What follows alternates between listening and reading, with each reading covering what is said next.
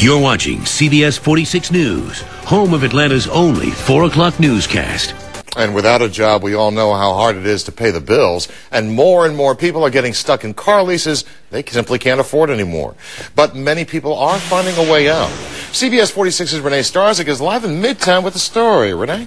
So you find yourself driving a shiny new SUV and suddenly realize you cannot afford the $600 monthly lease payment. Well, more and more people are turning to websites that get them out of a financial bind by putting someone else in the driver's seat. Randy Coslin hops into his 2007 Volvo XC90 SUV, the exact vehicle he was looking for at the right price.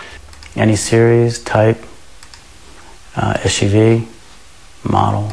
He found his vehicle with one quick click. LeaseTrader.com is one of several websites that hook you up with people who want out of their car lease. I was a little uneasy about it because, again, it's, it's the internet. You don't know what you're getting. Um, you don't know who the people are on the other end. But Randy had no problems. He negotiated a deal with a guy in Detroit, flew up there, and drove back to Cobb County the very same day.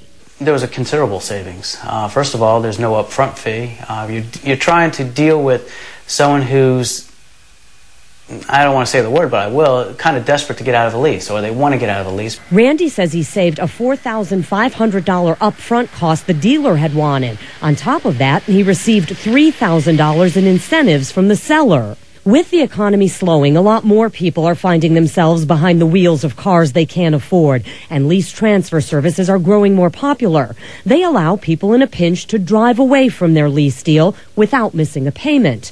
And for buyers, like Randy Coslin, it's a good deal too. I mean, right now, we have five months left on this one, and actually, we had an addition to our family, so we're looking for something bigger now. So what does the service cost? Well, leasetrader.com for one charges $79 for you to list your vehicle. It will cost you $149 for them to complete all the paperwork. We spoke with the Better Business Bureau and they do have one bit of advice. Be sure that Ford, Volvo, Chrysler, whoever holds the original lease signs off on the deal. We are live in Midtown. Renee Starzik, CBS 46 News.